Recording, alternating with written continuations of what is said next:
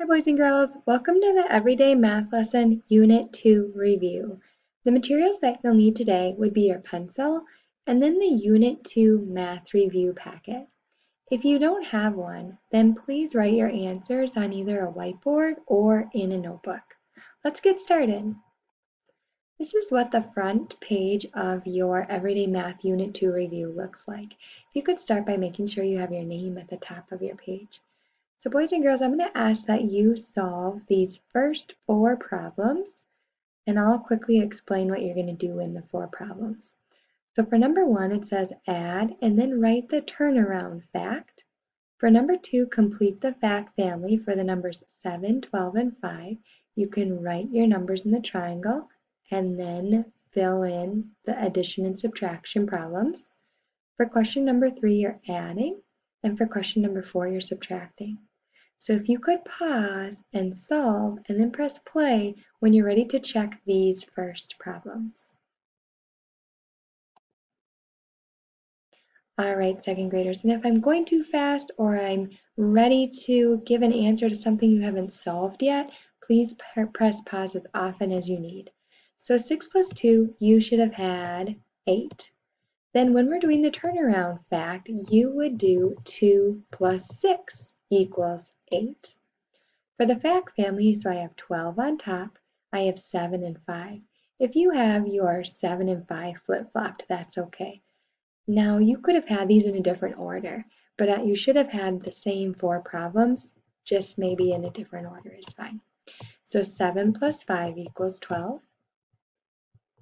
5 plus 7 equals 12. 12 minus 5 equals 7 and 12 minus 7 equals 5. When I'm adding, I know 5 plus 1 is 6, 6 plus 6 is 12, 0 plus 8 is 8. When I'm subtracting, I know 6 minus 0 is 6, 13 minus 1 is 12, and 8 minus 5 is 3. And if you're noticing that you have any mistakes, please fix those with your pencil and eraser. Let's now look at the second half of this page. So for numbers 5 and 6, you're filling in the empty frames. So for number 5, our rule is plus 4. So you're going to start at 6 and you're going to add 4 for each of these boxes. For number 6, our rule is minus 5.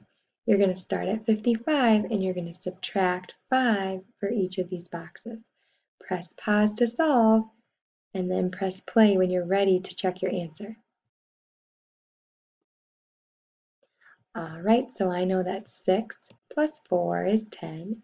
10 plus 4 is 14. They give me 18. 18 plus 4 is 22. 22 plus 4 is 26.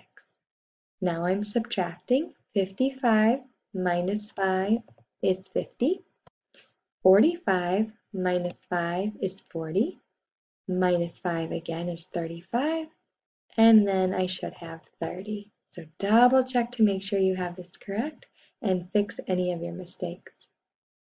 We'll look at the next page. So can you look at problem number seven? Now it maybe says write 10 names for the number nine. I'm just gonna ask that you come up with five names today for the number nine. For question eight, it's gonna ask you to cross out the names that do not belong. So think about which of these do not equal 13 and cross those out. For number 9, you're going to add or subtract the following problems. So can you press pause and solve and then press play when you're ready to check?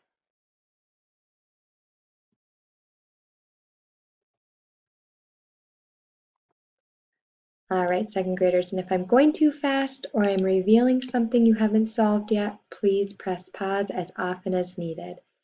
Write five names for the number nine. You could have had very different names than I did, but I'm just going to show you what I came up with today.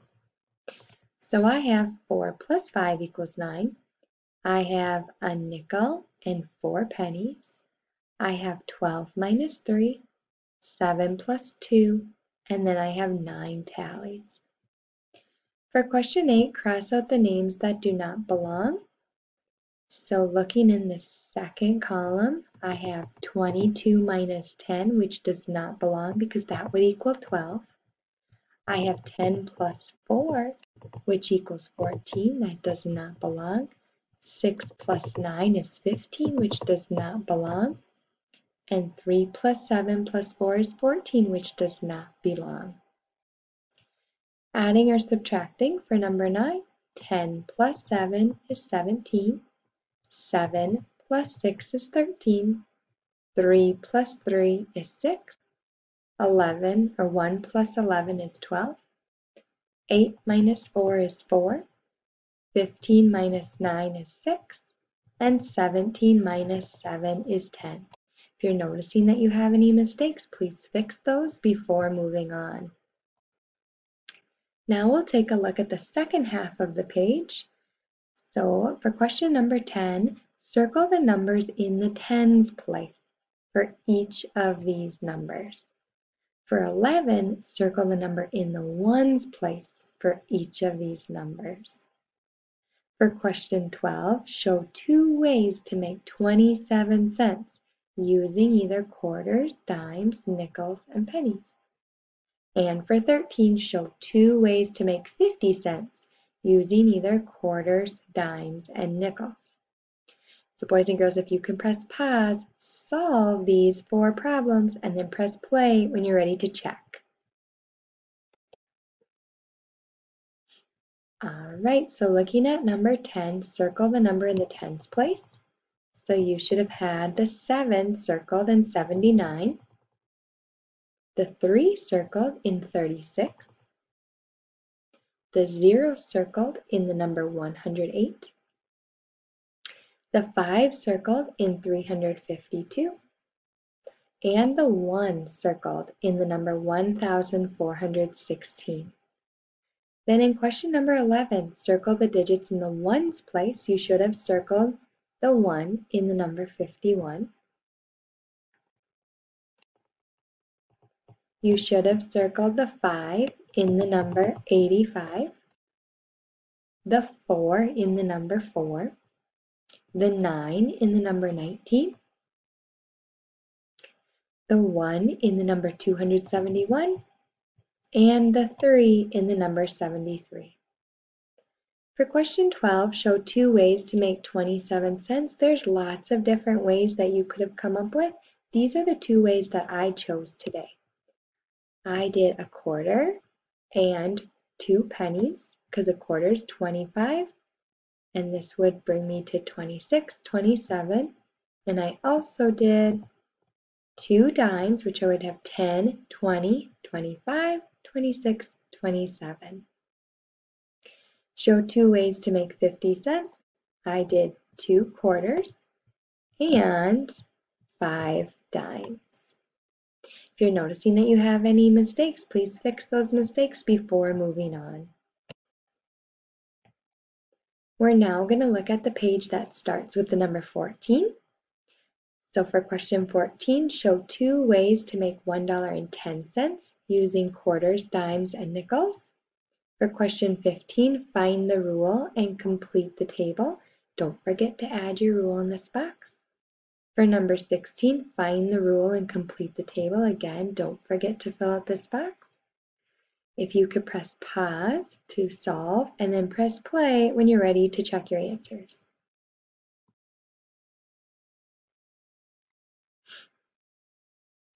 So there's lots of different ways that you could show $1.10, but these are the two ways that I chose to show that. For 14, so the first one I did 4 quarters, which equals a dollar, plus a dime, which has 10 cents, $1.10. And then I used two quarters to bring me to 50 and five dimes, which brings me to another 50. 50 plus 50 is a dollar. And then two nickels to get me to $1.10. For number 15, so if I'm looking at 6 to 8, I can see that I am adding 2, which is my rule. Then I know 13 plus 2 is 15, 16 plus 2 is 18. 21 plus 2 is 23. Now if I'm given the out, I need to do the opposite. So I need to think 12 minus 2, which would get me to 10. Then if I'm at 14 and I'm going to 11, I can see that my rule is to subtract or minus 3. 16 minus 3 is 13. 20 minus 3 is 17. 7 minus 3 is 4. Now if I'm given the out, I need to do the opposite. So I need to do 15 plus 3, which would be 18. Please fix any mistakes before moving on to our last page. All right, so we're looking at question number 17. Look at the chart and then answer the questions. Favorite types of cookies, number of people, types of cookies. You can see our cookies are chocolate chip, sugar cookie, and peanut butter. So our first question says, which cookie was the most popular? Then we have which cookie was the least popular? And our last one is how many people like peanut butter cookies? Press pause to solve and then play when you're ready to check your answers. All right, so the cookie that was the most popular, that means that the most people liked that. And I can see that that would be chocolate chip because chocolate chip has the tallest bar. The least popular means that the not very many people liked that, which I can see was sugar cookie because that had the smallest bar. How many people liked peanut butter cookies? I can count my number of bars, which would be two. If you're noticing that you have any mistakes, please check those.